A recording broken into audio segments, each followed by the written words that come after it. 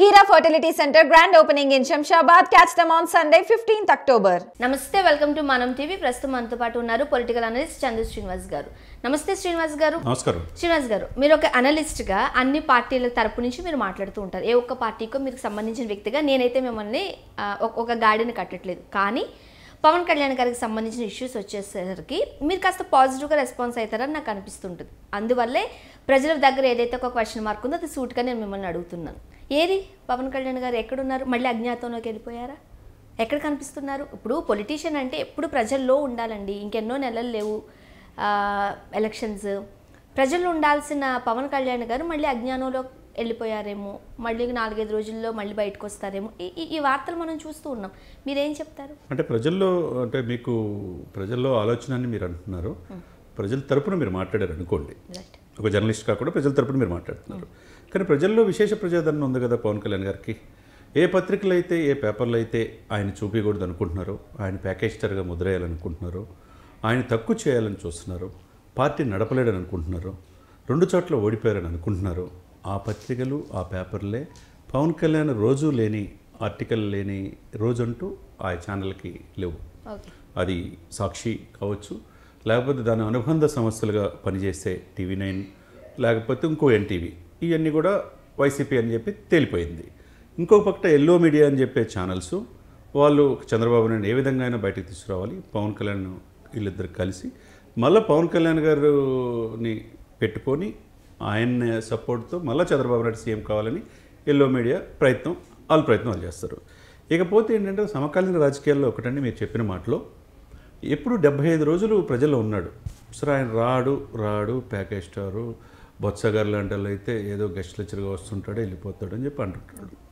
మరి వచ్చాడు వారాహిధర జూన్ పద్నాలుగు నుంచి దాదాపు అరవై ఐదు రోజులు కంటిన్యూగా ఉన్నాడు కదా. గౌరవనీయులైన ముఖ్యమంత్రి జగన్మోహన్ రెడ్డి గారు కూడా అన్ని రోజులు ఉండలా. ఏ రోజు అన్ని రోజులు ప్రచారానికి వెళ్ళాలా? అంత ప్రజాదరణ ఆయనకి లేదు. అటువంటిది ఏ రోజు ప్రెస్ మీట్ కూడా పెట్టాల జగన్మోహన్ రెడ్డి గారు. అటువంటిది నిత్యం ప్రజల్లో ఉండి దాదాపు నాలుగో విడత అవనిగడ్డ మీరు చూశారు కాయకులు. ఎంత అగ్రెసివ్గా చెప్పాడు ఎందుకు టీడీపీతో కలిసి వెళ్తున్నా అని చెప్పాడు ప్రస్ఫుటంగా ఆంధ్రప్రదేశ్ ప్రజలకి పవన్ ఏంటనే తెలుసు ఆ సమయంలో నిన్న జగన్మోహన్ రెడ్డి గారు మాట్లాడింది కూడా చూస్తే ప్రధానమైన ప్రత్యర్థి నాకు పోటీదారుడు పవన్ కళ్యాణ్ అనేది జగన్మోహన్ రెడ్డి గారి యొక్క ఫ్రస్ట్రేషన్ చూస్తే నేను అర్థమవుతుంది. ఎందుకంటే ఆయన విమర్శించిన తీరు సభ్య సమాజం తలదించుకునే విధంగా. మనం ఎప్పుడు కూడా రాజ్యాంగంగా రాజ్యాంగ విలువలకు లోబడి గొప్ప మదర్ ఆఫ్ డెమోక్రసీ భారత రాజ్యాంగం. అటువంటి రాజ్యాంగంలో ఆంధ్రప్రదేశ్ అనేది ఒక భాగం. దాంట్లో మీకు ప్రజలు మ్యాండేటరీ ఇచ్చారు. నూట యాభై ఒక్క సీట్లు ఇచ్చారు ఇరవై రెండు ఎంపీలు ఇచ్చారు. ఇచ్చినప్పుడు మీరు హోందాగా ప్రజల తరపున ప్రజా నాయకుడిగా మాట్లాడాలి కానీ వ్యక్తిగత దోషులకు పోకూడదు. మీరు అన్నట్టు ఏడి ఎక్కడికి వెళ్ళిపోయాడు అని చెప్పేసి అంటున్నారు. నిత్యం ప్రజల్లో ఉండాలంటున్నారు. పది సంవత్సరాలు పార్టీ పెట్టాడు. రెండు చోట్ల ప్రజలు ఈయన గెలిపించలా. ఆయన కొన్ని కోట్ల రూపాయలు ఖర్చు పెట్టుకొని సినిమా తీస్తే రెండు కోట్లు ప్రతిరోజు ఆదాయం. సంవత్సరానికి ఆయన ఆదాయం వెయ్యి కోట్ల పైన. అది కూడా విలాసవంతమైన జీవితాన్ని కూడా పక్కన పెట్టి ప్రజల కోసం నిరంతరం కృషి చేస్తున్నాడు. ఎక్కడ అతను రావట్లేదు. అరవై ఐదు డెబ్బై ఐదు రోజులు ప్రజల్లో ఉన్నది కనపట్లేదా సరే ఎప్పుడు కనపడాలనుకుంటే ఆయనకున్న కమిట్మెంట్ మూడు సినిమాలు. ఉస్తాద్ భగత్ సింగ్ కావచ్చు అరహర వీరమల్లి కావచ్చు లేకపోతే ఓజీ కావచ్చు. ఇవన్నీ almost sixty to seventy percent ఇందులో ఉన్నాయి. ఈ టూ మంత్స్లో పూర్తి చేసుకుంటాడు. మీరు అన్నట్టు ఏప్రిల్లో ఎలక్షన్స్కి సిద్ధమవుతున్నాడు. ఈలోపు ఎవరు చేయాల్సిన పనులు వాళ్ళు చేస్తున్నారు? జనసేన పార్టీ విధి విధానాలు ఉన్నాయి కదా. మేనిఫెస్టో ఒకటి ఉంది కదా కమిటీ. మనోహర్ గారి పని మనోహర్ చేస్తున్నాడు. నాగబాబు పని నాగబాబు చేస్తున్నాడు. తమ్మిరెడ్డి శివశంకర్ పని తమ్మిరెడ్డి శివశంకర్ చేస్తున్నారు. కార్యకర్తల పని కార్యకర్తలు చేస్తున్నారు. గ్రాస్ రూట్ లెవెల్ టీడీపీతో కలిసి వాళ్ళు సంకీర్ణ ప్రభుత్వం దిశగా వాళ్ళ ప్రయత్నం చేస్తున్నారు తప్పితే ఎక్కడ కూడా ఆయన కనపడకుండా అంటే ఎప్పుడు ఆయన చూడాలి అనుకుంటే ఆయన సినిమాలు వేసుకొని చూసుకోవచ్చు. అంటే కొంతమంది అభిమానులు ఉంటారు. వాళ్ళకి రోజు పవన్ కళ్యాణ్ గారు ప్రజల్లో ఉంటే చూడాలనే ఆనందం ఉంటుంది. సో దానికోసం. కాదు మీరు అనటం బాగా బాగానే ఉందండి మేడం. పవన్ కళ్యాణ్ అనే వ్యక్తి ఈలలాగా రాజకీయాలు రాజకీయ పార్టీ అడ్డం పెట్టుకొని తండ్రులను అడ్డం పెట్టుకొని కొన్ని లక్షల కోట్లకి ఎదగల. ఆయనకేమో సూట్ కేసు కంపెనీలు లేవు. ఆయన మీద ముప్పై ముప్పై ఎనిమిది కేసులు ఏమి క్రిమినల్ కేసులు లేవు. ఇప్పటికీ పది సంవత్సరాలు బెయిల్ మీద ఉన్న ముఖ్యమంత్రి ఎవరైనా ఉన్నారంటే జగన్మోహన్ రెడ్డి గారే. ఇరవై ఆరు కేసులను చంద్రబాబు నాయుడు గారు ఇప్పుడు జైల్లోకి వెళ్ళారు. ఒక కేసు ఒక కేసు కూడా లేని పవన్ కళ్యాణ్నే మీరు అంటున్నారు. ప్రజలు అంటున్నారు అంటున్నారు.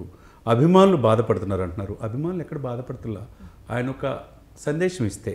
ఆయన ఏది చెప్తే అది నడవటానికి రెడీగా ఉన్నారు అభిమానులు కోట్లాది మంది అభిమానులు. రైట్ ఇప్పుడు ఆ అభిమానుల ప్రశ్నే ఇప్పుడు అభిమానులు ఇప్పుడు ఏపీలో జగన్మోహన్ రెడ్డి గారి ప్రభుత్వం మీద పూర్తి వ్యతిరేకత వచ్చేసింది. మీరు అంటున్న మాటలే రైట్ అంటే ప్రతిపక్షాలుగా ఉన్న పార్టీలు ఏవైతే ఉన్నాయో వాళ్ళు అంటున్న పవన్ కళ్యాణ్ గారు నేతలకి ప్రజలు అంటున్నారు జగన్మోహన్ రెడ్డి గారి మీద వ్యతిరేకతనంగానే మీరు అంటున్న మాటని నన్ను అంటున్నారు. అది ఎంతవరకు సమంజసం? మీరు అని అంటే వ్యక్తిగతంగా మీరు అని కాదు. ప్రతిపక్షాలు ఎవరైతే ఉన్నాయో అలా చెప్పండి. అలా చెప్పండి. పవన్ పట్ల ఏదైతే మీరు మాట్లాడారో జగన్మోహన్ రెడ్డి గారి పట్ల కూడా ప్రజల్లో ఇలా ఉందనేది చెప్తే. బాగుంటుంది. ఇప్పుడు మేమంటాం కాదు. మాకు ఒకటే ఒకటి. మేడం. మీకైనా నాకైనా ఎటువంటి విభేదాలు ఏమి లేవు. మీరు యాజ్ ఎ జర్నలిస్ట్గా నేను యాజ్ విశ్లేషకుడిగా ఒక టాపిక్ పిలిచినప్పుడు వస్తాము మాట్లాడతాము. అంతే కాబట్టి మీకు నాకేమైనా విభేదాలు లేవు కదా. మీరు ప్రజల తరపున అడుగుతున్నారు? అడగండి. ప్రజల్లో ఏముందో చెప్పాల్సిన బాధ్యత మాది. ఇక్కడ జగన్మోహన్ రెడ్డి గారి మీద ఏదో ప్రేమో పవన్ కళ్యాణ్ మీద ఏమో ప్రేమో చంద్రబాబు నాయుడు మీద ప్రేమో మాకేం ఉండవు. ప్రజలు ఏమనుకుంటున్నారు మీకు ఉండకూడదు మాకు ఉండకూడదు. ఏదైనా సరే మనం ప్రజల తరపు నుంచి ప్రజల కొరకు మాట్లాడేసిన yes, వాళ్ళ. వాయిస్ మనం డిస్కస్ చేయడం కోసమే. రైట్ ఇప్పుడు ఏపీలో జగన్మోహన్ రెడ్డి గారి ప్రభుత్వానికి సంబంధించి కంప్లీట్ వ్యతిరేకత వచ్చేసింది అనేది ఒక వర్గం వాళ్ళు చెబుతుంది. మేబీ నిజమై ఉండొచ్చు. ఎందుకంటే పద్నాలుగు పదిహేను తారీఖులు వచ్చినా ఇప్పటికీ చాలా మందికి గవర్నమెంట్ ఎంప్లాయీస్కి జీతాలు లేవు. మా అత్త వాళ్ళే ఉన్నారు. వాళ్ళకి ఇంకా శాలరీస్ పడలేదు. దానికి నేనే పర్ఫెక్ట్ ఎగ్జాంపుల్ కూడా. రైట్ అయితే మరి ఈ మాట డైరెక్ట్గా మీరు మీడియాలో చెప్పారు రేపు మీ అత్తమామల గారికి వైసీపీ వాళ్ళు అక్కడ ఉన్న వాళ్ళు వైసీపీ ప్రభుత్వమే. ఒప్పుకుంటుంది దాన్ని. ఒక్కొక్కసారి అట్లా జరుగుతుంటుంది. తెలంగాణ ఇంకా చాలా మందికి జీతాలు లేవు. సో అలా జరుగుతుంటుంది అనేది ఒక ఒక వ్యాఖ్య. రైట్? అయితే ఇప్పుడు వ్యతిరేకత ఉన్న దానిని ఓట్లుగా మలుచుకోవాల్సిన బాధ్యత ప్రతిపక్షాలుగా ప్రతిపక్ష పార్టీలుగా ఉన్న వాళ్ళదే బాధ్యత. ఇప్పుడు మీరు అన్నట్టుగా సినిమాలు ఉండిపోయాయి కాబట్టి సినిమాలు చేయాల్సి కాబట్టి పవన్ కళ్యాణ్ గారు రేపు పొద్దుట ఒకవేళ అధికారంలోకి వస్తే అప్పుడు కూడా ఆయన సినిమాలు పట్టుకుని వెళ్ళిపోతే మా పరిస్థితి ఏంటి అనేది ఒక ప్రజలకున్న డౌట్ కంప్లీట్గా సినిమాలు ఆపేస్తారా పవన్ కళ్యాణ్ గారు? ఆపేస్తాడు. నో డౌట్ ఎట్ ఆల్ మీ వ్యాఖ్యగా చెప్తారా అది? ఆయన తరపు నుంచి మీరు చెబుతున్న ప్రామిసా మీరు ఇస్తున్న ఆయన పలు సందర్భాల్లో మీడియాలో చెప్పిన మాట. ఆయనకి సినిమాలు అంటే ఏదో ఇది లేదు. ప్రజాసేవే పరమావధి. ప్రజల కోసం చనిపోవడానికి సిద్ధమని పాతి సంవత్సరాలు రాజకీయం చేద్దామని వచ్చాడు. రెండు చోట్ల ఓడించినా కానీ నిత్యం ప్రజల్లోనే ఉన్నాడు. తన డబ్బుల్ని తను ఖర్చు పెట్టి కొన్ని కోట్ల రూపాయలు తను సంపాదించిన డబ్బుల్ని పేదల కోసం ఖర్చు పెట్టాడు. ఇటువంటి నాయకుడు ఎక్కడ ఉన్నాడండి? అదే సమయంలో నా చేతిలో ఈ మూడు సినిమాలు తప్పితే ఇక చేయను అని చెప్పాడు. నిత్యం ప్రజలు రాజకీయాలు ఉంటాడు. హైదరాబాద్ నుంచి కంప్లీట్ షిఫ్ట్ అయ్యాడు. ఆయన పుస్తకాలతో సహా మంగళగిరికి మకాం మార్చుకున్నాడు. నిత్యం ప్రజల్లోనే ఉంటాడు. మీరు డౌట్ పడాల్సిన అవసరం లేదు. మీ ద్వారా నేను చెప్పేది ఏంటంటే ఎవరైతే అభిమానులు ఉన్నారో ప్రజలు ఉన్నారో మార్పు కోసం ఆలోచించే వాళ్ళు ఉన్నారో ప్రజా వ్యతిరేకతని దాన్ని ఆసరాగా చేసుకొని మంచి ప్రభుత్వం రావాలని కోరుకునే వాళ్ళు ఉన్నారో పవన్ కళ్యాణ్ అనే వ్యక్తి నిజాయితీగా ప్రజల ముందుకు వస్తాడు. మీరు డౌట్ పడాల్సిన అవసరం లేదనేది ఈ సందర్భంగా తెలియజేస్తారు రైట్ ముఖ్యంగా సాక్షాత్తు సీఎం జగన్మోహన్ రెడ్డి గారే మార్చి ఏప్రిల్ నెలల్లో ఎన్నికలు ఉండే అవకాశాలు ఉన్నాయని చెప్పారు. జాన్ ఫిబ్రవరికి వచ్చేసరికి మేనిఫెస్టో అయిపోతుంది. అంటే మనకున్న ఈ రెండు మూడు నెలల్లోనే మేనిఫెస్టోకి సంబంధించి ఒక కసరత్తు చేయాలి. ఇప్పుడు జనసేనకు సంబంధించి పవన్ కళ్యాణ్ గారు ఎటువంటి మేనిఫెస్టోతో ప్రజల ముందుకు రాబోతున్నారు? అది టీడీపీతో కలిసి ఆ మేనిఫెస్టో రెడీ చేస్తారా? సొంతంగా చేస్తారా? డెఫినెట్గా మీరు అడిగిన పాయింట్ బాగుంది. ఇప్పుడు తెలంగాణ రాష్ట్రంలో రేపు ముప్పై తారీఖు ఎలక్షన్ మూడో తారీఖు రిజల్ట్ నెక్స్ట్ మంత్ ఊహించిన విధంగా ఇక్కడ కోడ్ వచ్చేసింది అమల్లోకి వచ్చేసింది తెలంగాణ రాష్ట్రంలో ఎక్కడికక్కడ డబ్బులు పట్టుబడుతున్నాయి మనం చూస్తూ ఉన్నాం. వాడి వేడి రాజకీయాలు. ఇదే సిచ్యువేషన్స్లో ఆంధ్రప్రదేశ్ కూడా రేపు మాపు ఉన్న పథకాలు ఎంతవరకు చేసామో చెప్పుకోవాలి అధికార పక్షం. ఏమి చేయలేదో చెప్పుకోవడానికి ప్రతిపక్షాలు ప్రశ్నిస్తాయి ఇదే సమయంలో మీరు అన్నట్టు ఏప్రిల్ మాసం టైం ఉంది. ఈ సమయంలో మేనిఫెస్టో కామన్ మేనిఫెస్టో అనేది కంపల్సరీ. సంకీర్ణ కూటమిగా జగన్మోహన్ రెడ్డి గారిని ఓటు చేయకుండా రాజకీయం చేద్దామని పవన్ కళ్యాణ్ గారు తలుచుకున్నారు కాబట్టి బీజేపీ టీడీపీ జనసేన మూడు పార్టీలు కలిసి వెళ్దామని అనుకుంటున్నాయి కాబట్టి ఉమ్మడి మేనిఫెస్టో అనేది కంపల్సరీగా ఉండాలి. దీనికంటే ముందు కామన్గా మామూలుగా ఏ పార్టీకి ఆ పార్టీ ఇండివిజువల్గా మేనిఫెస్టో ఉంటుంది. దాంట్లో భాగంగా పవన్ కళ్యాణ్ గారు కూడా షణ్ముఖ వ్యూహం అనే పాయింట్ ఆఫ్ వ్యూలో ఒక మేనిఫెస్టో తీసుకొచ్చాడు. ప్రతి ప్రతి ఒక్క యువతకి ఒక పది మంది కలిసి వాళ్ళకి ఒక టెన్ ల్యాక్స్ కనుక గ్రూప్కి ఇస్తే వాళ్ళకి స్వయం ఉపాధి కల్పించుకునేటట్టు వాళ్ళే పరిశ్రమలు నెలకొల్పేటట్టు నిరుద్యోగుల నివారణకి అట్లా ప్రతి నియోజకవర్గానికి ఇట్లా ఒక వెయ్యి మంది కనుక ఎంప్లాయ్మెంట్ కల్పిస్తే దానికి దానివల్ల లక్షల మంది బెనిఫిట్ అవుతారు. ఒక ఒక కూటమిగా. అంటే ఇప్పుడు డ్వాక్రా సంఘాలు ఉన్నాయి చూసారు? బెనిఫిట్ అవుతారు. ఆ విధంగా నిరుద్యోగులు ఎవరైతే ఉన్నారో అట్లా ఆ విధంగా ఎంప్లాయ్మెంట్ కల్పించాలి అనేది ఒకటి. తర్వాత షాదీ ముబారక్ అనే ఆ పథకాన్ని ఒకటి ఇంప్లిమెంట్ చేయటం. తర్వాత ముఖ్యంగా రైతులకి ఎలా అయితే కౌలు రైతులు ఇబ్బంది పడుతున్నారో రైతులకి సకాలంలో గిట్టుబాటు ధరలకు ఇది ఇదవుతున్నారో వాళ్ళకు ఒక మంచి మార్కెటింగ్ విధానం తీసుకురావటం. తర్వాత దీనికన్నిటికీ ముఖ్యం ఏంటంటే గ్రామాలు పట్టుకొమ్మలు పల్లెలు గ్రామ పంచాయతీలకి సర్వాధికారులు సర్పంచ్కి సర్వాధికారులు ఇస్తే కనుక ఆ గ్రామాలు సర్వతోముఖ అభివృద్ధి చెందుతాయి. ఎందుకంటే గ్రామాల అభివృద్ధి చెందితే దేశం అభివృద్ధి చెందుతుంది. ఆ కాన్సెప్ట్ తీసుకుంటున్నారు. అదేవిధంగా ప్రతి మహిళకి వాళ్ళకి మెయింటెనెన్స్కి ప్రతి నెల ఒక రెండు వేల రూపాయలు అనేది తర్వాత సిలిండర్ విషయంలో ఫ్రీగా ఇవ్వటం కావచ్చు. ప్రజారంజకమైన పథకాలు అనేకం. ఇవన్నీ ప్రస్తుతం వైఎస్ఆర్సీపీ చేస్తున్న కార్యక్రమాలే కదా. దాన్ని మీరు ఇంప్లిమెంట్ చేస్తారు అంతేనా? లేదండి. వాళ్ళు వాళ్ళు చేస్తున్న పథకాలు ఏంటంటే బటన్ నొక్కితే పథకాలు వేస్తాం అంటున్నారు. అమ్మఒడి అంటున్నారు లేకపోతే జగనన్న దీవెన విద్యా దీవెన ఇవన్నీ అంటున్నారు. గత ప్రభుత్వం చేసినవి అన్నీ కూడా ఏంటంటే అభివృద్ధి పథకాలు ప్రతి ప్రభుత్వం పేర్లు మార్చేసి ఈ వీళ్ళు ఇలా చేసుకుంటా ఉంటారు ఈ జగన్మోహన్ రెడ్డి గారు వచ్చిన తర్వాత ఏమవుతుందంటే ప్రతి ఒక్కరికి కూడా అడగకుండానే అన్నీ కూడా ఇచ్చేస్తున్నారు. అవి ఎవరు ఇస్తున్నారు జగన్మోహన్ రెడ్డి గారి చేతిలో ఇట్లా. ప్రజల సొమ్ము జిఎస్టీ ద్వారా ట్యాక్సుల ద్వారా వచ్చే డబ్బుల్ని మళ్ళా ప్రజలకు ఇస్తున్నారు. ప్రజల మీద నెత్తిన మీద ట్యాక్స్లు వేస్తున్నారు. ఆంధ్రప్రదేశ్లో చంద్రబాబు నాయుడు గారు దిగిపోయే సమయానికి రెండున్నర లక్షల కోట్ల అప్పుతో ఉంటే ఇప్పుడు జగన్మోహన్ రెడ్డి గారు వచ్చిన తర్వాత అది పదిన్నర లక్షల కోట్లు. రాష్ట్ర విభజన జరిగిందే మనకి ఆంధ్రాకి అప్పులతో కదండి. అరవై వేల కోట్ల రూపాయలు ఆ, డెఫిసిట్స్ వచ్చేసామండి. కాదంటలేదు మిగులు బడ్జెట్ తెలంగాణకు వచ్చింది. కాదంట్లా. ఆ సమయంలో బాధ్యత తీసుకున్న వ్యక్తి రెండున్నర లక్షల కోట్ల అప్పుతో చంద్రబాబు నాయుడు గారు ప్రభుత్వం మారింది అంటున్నాను ఇప్పుడు అడిషనల్గా ఏంటంటే దాదాపు దానికి ఏం చేశాడు? ఇంకో ఎనిమిది లక్షల కోట్ల అప్పు జగన్మోహన్ రెడ్డి గారు చేశారు. ఎక్కడ చేశాడు? ఈ అప్పులు ఎవరు తీర్చాలంటే ప్రజలే తీర్చాలా? చంద్రబాబు నాయుడు గారు తీర్చడు జగన్మోహన్ రెడ్డి గారు తీర్చడు. జగన్మోహన్ రెడ్డి గారి సొంత కంపెనీలో నుంచి ప్రజలకి ఏమి ఇవ్వరు ఇక్కడ. ఇక్కడ ఏంటంటే ప్రజల్ని ఎలా అయినా పథకాలు చేసుకోటి ఆ పథకాల ద్వారా వాళ్ళకి లబ్ధి పొంది వాళ్ళకి మీకు వేస్తున్నాం కదా అన్ని పథకాలు. విద్యాదీవెని కింద వేస్తున్నాం అమ్మఒడి కింద వేస్తున్నాం లేకపోతే హాస్పిటల్ అవి చేస్తున్నాం ఇవి చేస్తున్నాం అని చెప్పేసి మళ్ళీ రావడానికి వాళ్ళు ప్రయత్నం చేస్తారు. ఈయనేమో ఆ పథకాన్ని మారుస్తానంటలా ఇంకా అవి కొంతమంది వైసీపీ కార్యకర్తలుగా వెళ్తున్నాయి తప్పితే మిగతా వాళ్ళు కూడా ఆ పథకాలు అందాలి కదా. డాక్టర్ బిఆర్ అంబేద్కర్ గారు అన్నప్పుడు ఏ కొంత వర్గాల చేతిలో రాజకీయ అధికారం ఉంటే ఇవన్నీ కూడా వర్గ వైషమ్యాలు వస్తాయి.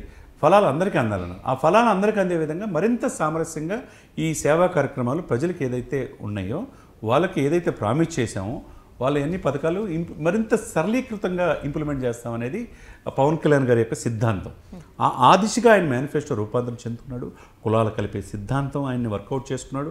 ముఖ్యంగా ఉభయ గోదావరి జిల్లాలో ఈ కులాల ఎక్కువగా మధ్య వైషమ్యాలు ఉంటాయి ఆ కులాలు కలిపే సిద్ధాంతాల్లో వర్కౌట్ అయింది. మత్స్యకార సమస్యల కోసం నేను ఉన్నాడు భవన కార్మికుల కోసం పనిచేస్తున్నాడు. ఉద్దానం కార్మికుల కోసం ఉద్దాన బాధితుల కోసం కూడా డాక్టర్లు పిలిపించి కృషి చేశాడు కాబట్టి ఆంధ్రప్రదేశ్ మీద ఈ పది సంవత్సరాలు ఆయన చేసింది ఏంటంటే ఒక సమగ్రమైన అవగాహన తెచ్చుకున్నాడు. ఒక జాబ్ క్యాలెండర్ ఇస్తానంటున్నాడు. ముఖ్యంగా విశాఖపట్నం తీర ప్రాంతం అక్కడి నుంచి నెల్లూరు వరకు సీ కోస్ట్ ఎక్కువ ఉందండి. గుజరాత్ తర్వాత తొమ్మిది వందల డెబ్బై రెండు స్క్వేర్ కిలోమీటర్లో పరిశ్రమలు తీసుకొస్తానంటున్నాడు. ముఖ్యంగా ఐటీ పరిశ్రమలు తీసుకొస్తాను. ఇవన్నీ కూడా సర్టన్ టైంలో త్రీ ఇయర్స్లో నేను ఇంప్లిమెంట్ చేస్తాను. మూడు సంవత్సరాల లోపు నేను చేయకపోతే నన్ను నిలదీవ్వండి అని అడుగుతున్నాడు. అదేవిధంగా మద్యపాన నిషేధం ఏదైతే ఆ గ్రామంలో ప్రజలు కోరుకుంటే ఆ మహిళలు కోరుకుంటే అక్కడ మద్యపానం అనేది లేకుండా చేస్తానంటున్నాడు. ఇక్కడ కల్తీ మద్యం లేకుండా క్వాలిటీ మద్యం అనేది ఇస్తాననేది కూడా ఒకటి కల్పిస్తున్నాడు. అంటే ఒక అవేర్నెస్ ప్రజల్లో ఒక అవగాహన తీసుకొస్తున్నాడు. ఆ దిశగా ఆయన మేనిఫెస్టో ఆంధ్రప్రదేశ్లో ప్రజలు రాజధాని విషయంలో అమరావతి రాజధాని అని చెప్పి చెప్తున్నాడు. ఇంకోటి పోలవరం ఇంతవరకు పూర్తి చేయలేకపోయారు. ఆ ప్రభుత్వం చేయలేకపోయింది ఈ ప్రభుత్వం చేయలేకపోయింది. ఆంధ్రుల జీవనాడి అది పూర్తి చేస్తాను సెంట్రల్తో నాకు మోడీ గారు ఉన్న ఇదితో అని చెప్పి చెప్తున్నాడు. అదేవిధంగా విశాఖ స్టీల్ని కాపాడుతానని చెప్తున్నాడు. విశాఖ రైల్వే సంబంధించి కూడా ఏమైనా ప్రామిస్ చేసే అవకాశం డెఫినెట్గా స్పెషల్ స్టేటస్ కూడా ఇంకొకటి ఏంటంటే అండి రేపు మాపు బీజేపీతో కూడా పొత్తు ఓకే అవుతుంది. బీజేపీ జనసేన టీడీపీ కలిసి ఆంధ్రప్రదేశ్లో సంకీర్ణ కూటమిగా వెళ్ళబోతున్నాయి అప్పుడు ఎవరు వాళ్ళు నమ్మేది ఎవరినంటే సచ్యలత అవినీతి లేని నిజాయితీ గల వ్యక్తిని నమ్ముతారు. అప్పుడు ఎవరు కనపడుతున్నారు? ఉభయ రాష్ట్రాల నుంచి ఎన్డీఏ సమావేశాన్ని ఎవరిని పిలిచారు? పవన్ కళ్యాణ్ ఒక్క వ్యక్తిని పిలిచారు. మరి ఎక్కడ ఒక ఆయన ఎమ్మెల్యే కాదు మాజీ మంత్రి కాదు. ఎందుకు పిలుస్తున్నారు?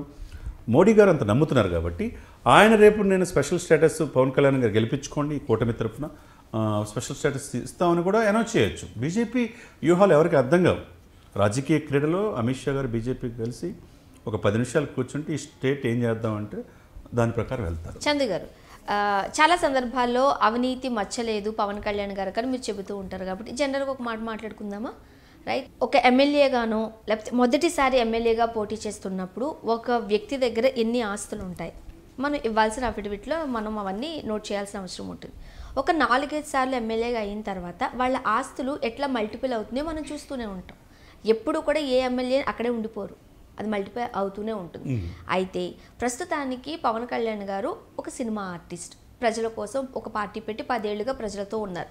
ఎప్పటికైనా ఒక ఎమ్మెల్యే కాదు ఒక ఎంపీ కాదు ఎటువంటి అధికారం లేదు కాబట్టి ఏ ఫైల్ మీద సైన్ చేసే అధికారం ఆయనకి లేదు కాబట్టి ఇప్పటికీ అవినీతి లేకపోతే మీరు అన్నట్టు ఆ మచ్చ లేకుండా ఉన్న వ్యక్తి. రేపొద్దుట ఆయనకి ఆ అధికారం ఉంటే ఇంతే సచ్యలతతో ఇంతే అవినీతి రహిత నాయకుడిగా స్టిల్ ఉంటారంటారా? ఒక పది పదిహేను ఏళ్ళ తర్వాత కూడా? డెఫినెట్గా మీరేం? డెఫినెట్గా ఉంటారు. ఎందుకంటే నేనన్నట్టు మీరన్నట్టు అవినీతి ఆరోపణలు చేస్తున్నారు మీరు అని అన్నారు నేను ఇప్పటికే ఇప్పటికే చంద్రబాబు నాయుడు గారి కేసుకి సంబంధించి ఎంతో కొంత ముడుపులు. పవన్ కళ్యాణ్ గారికి వెళ్ళాయి అంటూ ఆ నిందన ఆయన భరించాల్సి వస్తుంది. ఓకే కరెక్టే. నేను మీరు ఇందాక మీరు మా అన్న మాటల్లో అసోసియేషన్ ఫర్ డెమోక్రటిక్ రిఫార్మ్స్ అని చెప్పి రిటైర్డ్ హైకోర్టు జడ్జెస్ సుప్రీంకోర్టు న్యాయవాదులు కలిసి ఒక ఫర్మ్ ఎంక్వైరీ చేసి దేశవ్యాప్తంగా అవినీతిపరమైన నాయకులు ఎవరన్నా ఉన్నారు అనే రిపోర్ట్లో తీసుకున్న విషయాన్ని నేను చెప్పాను ఏడిఆర్ రిఫార్మ్స్. దాంట్లో ఇప్పుడు వరకు ముప్పై ఎనిమిది క్రిమినల్ కేసుల్లో అగ్రభాగాన ఉన్నది గౌరవనీయ ముఖ్యమంత్రి జగన్మోహన్ రెడ్డి గారు. ఇరవై ఆరు కేసులతో దాదాపు పదిహేను కేసులు వస్తే ఇప్పుడు ఈ మధ్య రాజమండ్రిలో దాదాపు ముప్పై రోజులైంది. ఒక కేసు మీద స్కిల్ డెవలప్మెంట్ లోపలికి వెళ్ళాడు నేను నేను చెప్తుంది ఏంటంటే ఆ రిపోర్ట్ని బేస్ చేసుకొని చెప్తున్నాను తప్పితే తర్వాత ఈడీ అటాచ్ చేసింది మనకు తెలిసిందే. పదహారు నెలలు జైలు గతంలో వెళ్ళింది కూడా తెలిసిందే. ఇప్పుడు కూడా బెయిల్ కోసం సిబిఐ కోర్టులో అప్లై చేసి లండన్ వెళ్ళింది కూడా మనకు తెలిసిందే.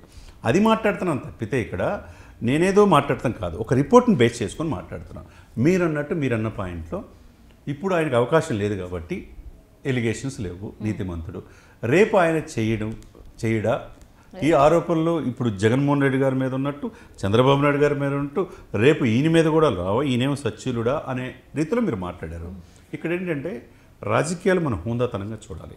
పది సంవత్సరాలు సస్టైన్గా స్థిరమైన రాజకీయాలు చేస్తున్నాడా లేదా? ప్రజల కోసం పాటుపడుతున్నాడా? ప్రజల సమస్యలు ఉంటే నేనున్నాననే భరోసా ప్రజలకు ఇవ్వగలుగుతున్నాడు అనేది ప్రజలు చూస్తారు.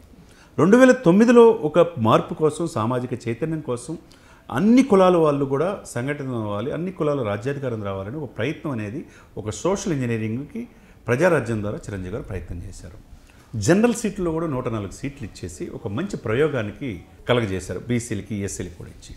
ఆ ప్రయత్నం ఏమవుతుంది? కొద్ది కాలం మాత్రమే చిరంజీవి గారు ఉండగలిగారు. మిగతా పద్దెనిమిది మంది గెలిచిన వాళ్ళు కూడా పార్టీలో ఉంటారా లేని పరిస్థితిలో గత్యంతరం లేక ఆయన కాంగ్రెస్లో మెరిచేశారు ఆ విధానాలు అతను నచ్చల తమ్ముడుగా. తమ్ముడు తమ్ముడే అన్న అన్నయ్య. కానీ నచ్చక అతను స్వయంగా జనసేన పార్టీ పెట్టి పది సంవత్సరాల నుంచి పార్టీ పట్టి ఎంత నిజాయితీగా ఉన్నాడనేదే మనం క్రైటీరియా తీసుకుంటాం. అంతేగాని పవన్ కళ్యాణ్ మీద నామే నాకేం వ్యక్తిగత ప్రేమ లేదు మీకన్నట్టు మీకు వ్యక్తిగత విభేదాలు మీకే ఉండవు. ఉన్నదే మాట్లాడుకుంటాం కరెక్టే విభేదాలు లేవు. ఆ సమయంలో ఏంటంటే పది సంవత్సరాలు రాజకీయం చేస్తున్నాడా లేదా?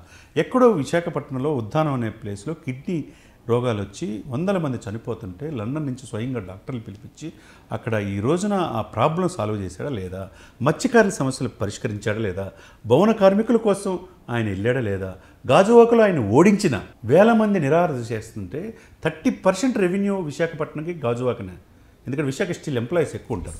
వాళ్ళకి ఆ రోజు పవన్ నమ్మల. అయినా కానీ వాళ్ళ కోసం నిరాదీక్ష కోసం వెళ్ళాడు. అవసరమైతే అఖిలపక్షం వేయండి. నేను కూడా వస్తాను మోడీ గారితో మాట్లాడుతున్నాడు. కానీ అఖిలపక్షం వేసే ధైర్యం అధికార పార్టీ చేయలా. స్పెషల్ స్టేటస్ని ఏ రోజు కేంద్ర ప్రభుత్వని జగన్మోహన్ రెడ్డి గారు అడగల? ఈయన ప్రశ్నించాడు ఈయన అడిగాడు. అమరావతి రైతులకు పలుదపాలుగా పోయి అక్కడ రెండు వందల ముప్పై రెండు మంది గుండె ఆగిపోయి చనిపోతే వాళ్ళకు ఒక భరోసా కల్పించాడు ఆర్థికంగా సహాయం చేశాడు.